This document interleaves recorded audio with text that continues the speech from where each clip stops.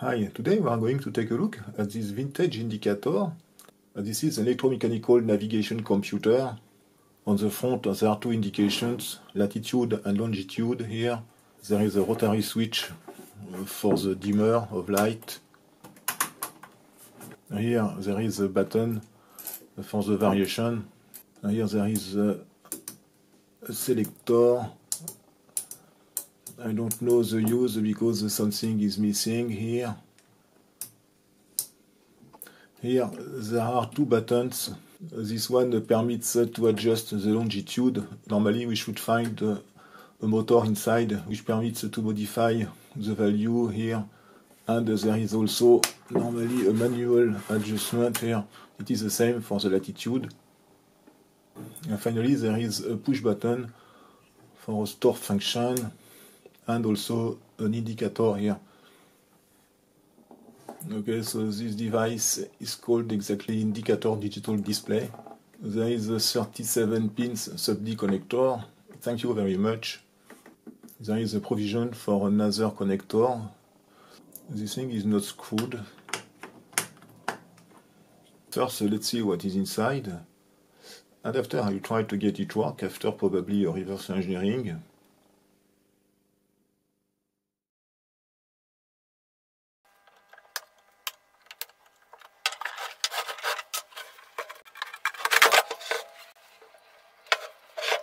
Okay, look at that.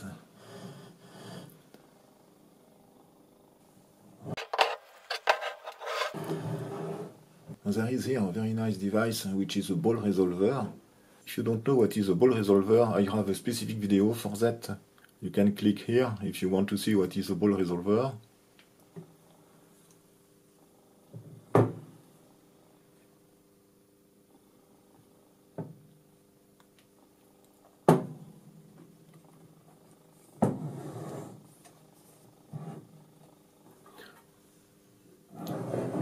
The main part is a ball resolver. Actually, there are two inputs. The main input is this gear here. Normally, we can rotate this gear. Okay.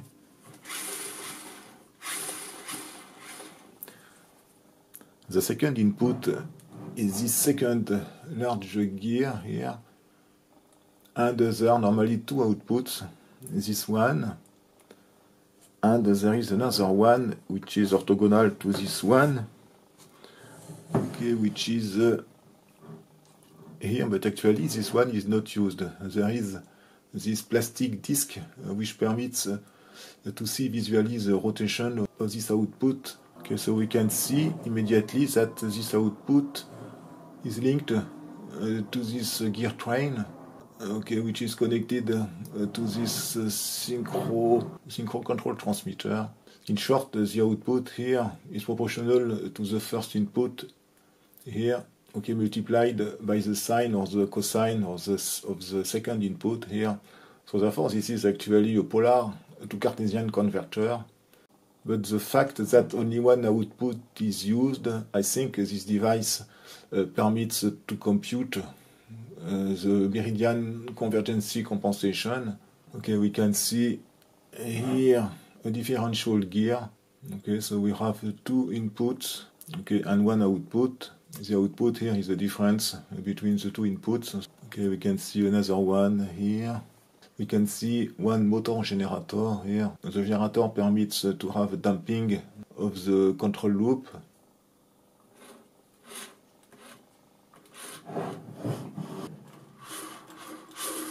So this motor permits to control the longitude display. Okay, so we can see that this motor here is linked to a gear train.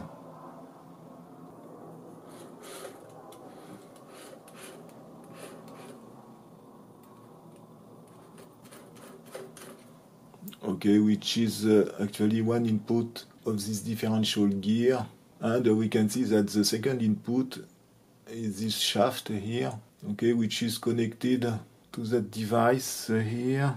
Oh, it is also connected mechanically uh, to this thing.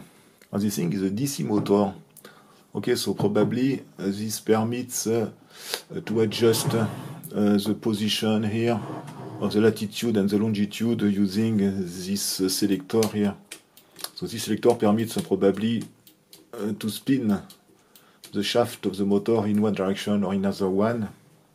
Okay, we can see that we have two motors here, but I don't know what is this thing. It is maybe an electrical brake there are two wires connected on it, these two green wires here. Well, therefore there is no polarity. Okay, and we have another motor here. Okay, so there is another one on the other side. Okay, it is written stepping, it is a stepper motor actually. 33 volts. Okay, so this one, so the motor is also after a gear train the input of the second differential here. This is this gear. Okay, and the output permits to modify the latitude. Okay, and the second input is actually the second DC motor, this one, which permits to adjust the indication using this gear train here.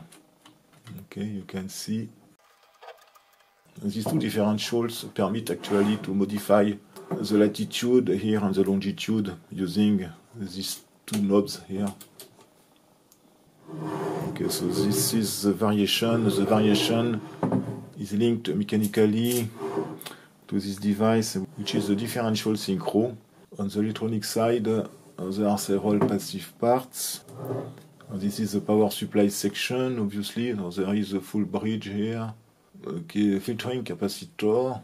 The AC input of the bridge is here. There is a filtering capacitor. These two lines are probably connected to the transformer. Okay, so this module is probably the servo amplifier, okay, which permits to drive this motor here. This mechanical stuff is used for the dimmer circuit. Quite a complicated thing. Okay, we should find a rotary switch probably linked to this gear. Okay, so I will do the reverse engineering of this complete assembly. I think I will need one or two days for that.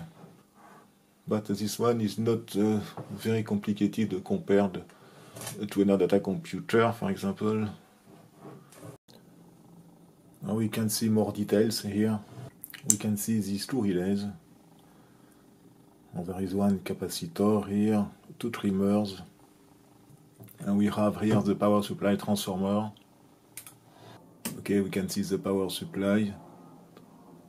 And this plate is just an interconnection plate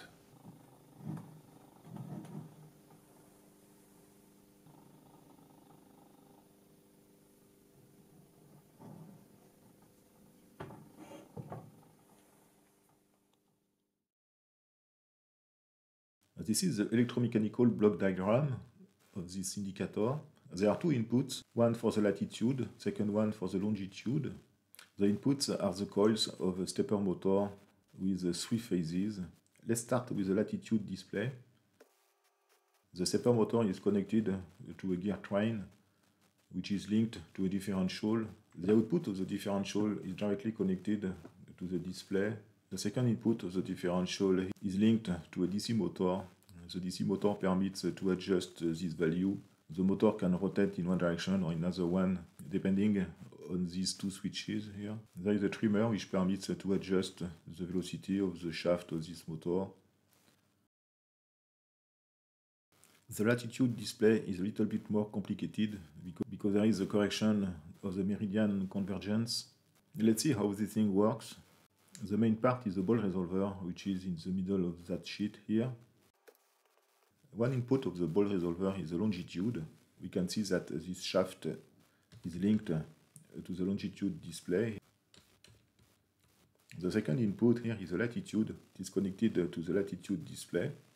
Only one output is used, which is a cosine output. I have verified that when the latitude is set to zero, here there is a maximum velocity of the output. When the latitude is set to 90 degrees. The output shaft here doesn't rotate anymore. Of course, it depends also on the velocity of the input here. The output here is the longitude, which is the angle of the shaft here, multiplied by the cosine of the latitude, which is the angle of the second input here. The ball resolver is inside a servo control loop. So let's see how this thing works. We have on that shaft the longitude multiplied by the cosine of the latitude. This shaft is linked to a synchro transmitter. The rotor of this synchro transmitter is connected to an AC voltage, which is the reference voltage. So therefore, the electrical angle on the stator is identical to the angle of the shaft, that is to say longitude multiplied by the cosine of latitude. The stator of this synchro transmitter is connected to the stator of a control transformer. So therefore, the electrical angle of the stator is the same, longitude multiplied by cosine of latitude. The rotor of this synchro transformer is connected to the servo amplifier. The servo amplifier drives this motor, which permits to modify the first input of the ball resolver. The voltage on the rotor of this control transformer depends on the electrical angle of the stator and also the position of the shaft. The shaft of this control transformer is linked to the second stepper motor, which is the longitude input here. Let's call this angle x. When this thing is stabilized, we have a null voltage across that winding. That means that the angle x is identical to the electrical angle here. Okay, it is what I wrote here. We can calculate the longitude, which is the angle of the shaft of the motor. We find that the longitude is the input here divided by the cosine of the latitude. So this is the meridian convergency compensation when the latitude increases, there is here an increase of the longitude for a given speed. We can see that the rotor winding of the control transformer is in series with the output of the generator. The sum of these two voltages is fed to the servo amplifier. If we suppose that the system works correctly, we have a null voltage as the input of the servo amplifier, at least a very small voltage. Therefore, the generator voltage here is identical to the error voltage. The voltage of the generator is proportional to the velocity of the shaft. That means that the velocity of the shaft is proportional to the error voltage. When the error voltage decreases, there will be at the same time a decrease of the velocity of the shaft. So this permits to have a damping because when the error voltage is null, you have a null velocity of the shaft.